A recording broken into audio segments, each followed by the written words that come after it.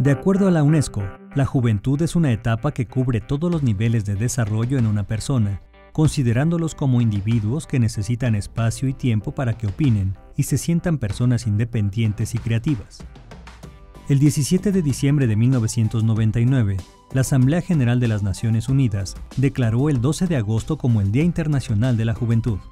De las 7.350 millones de personas que residen en el mundo, se estima que la población juvenil oscila entre el 18%.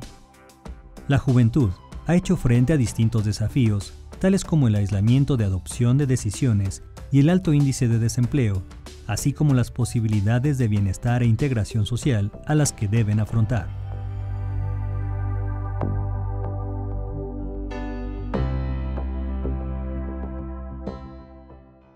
Con el tema Los aspectos del desarrollo social de la juventud, la paz y la seguridad, este año, la ONU apoya la creatividad y el impulso innovador aportado por los jóvenes para lograr fortalecer sus derechos.